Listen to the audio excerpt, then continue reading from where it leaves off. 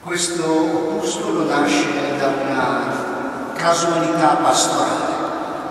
Nel mese di maggio stiamo continuando la tradizione che aveva iniziato già Monsignor Marinelli, mio predecessore, negli anni Ottanta, cioè di fare due o tre sere a settimana un rosario itinerante, una volta davanti ad una sortella, una volta davanti a dentro una chiesa delle ex parrocchie che adesso sono confluite nella parrocchia dell'uomo.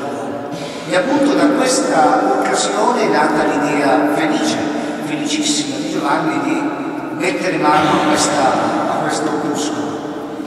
Io non posso dimenticarmi mai del fatto che sono, tra l'altro, parroco. E questo mi porta a non lasciar perdere l'eredità che i nostri padri ci hanno lasciato. Ed è l'eredità più grande, secondo me, come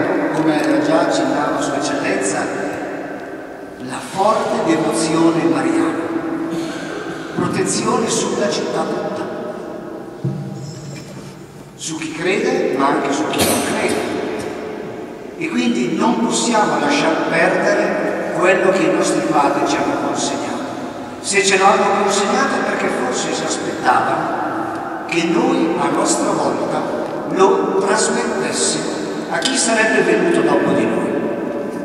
Purtroppo la memoria visiva, la memoria in se stessa, se non è suffragata dallo scritto, va a perdersi. E quindi ecco la bellezza pastorale, da tutti fruibile di questo, di questo libretto.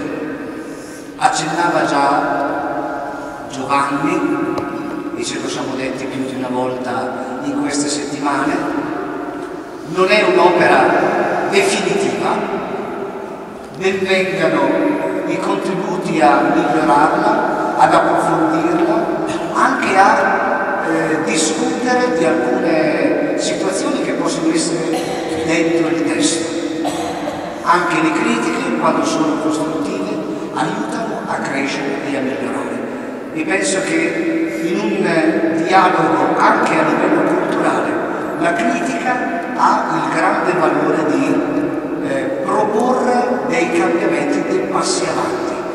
Questo penso che sia l'auspicio che tutti ci facciamo reciprocamente, unitamente al grazie per aver messo mano nel segno dell'amore alla propria civitas, di aver, di aver messo mano a questa tradizione, perché attraverso di noi possa arrivare alle future generazioni.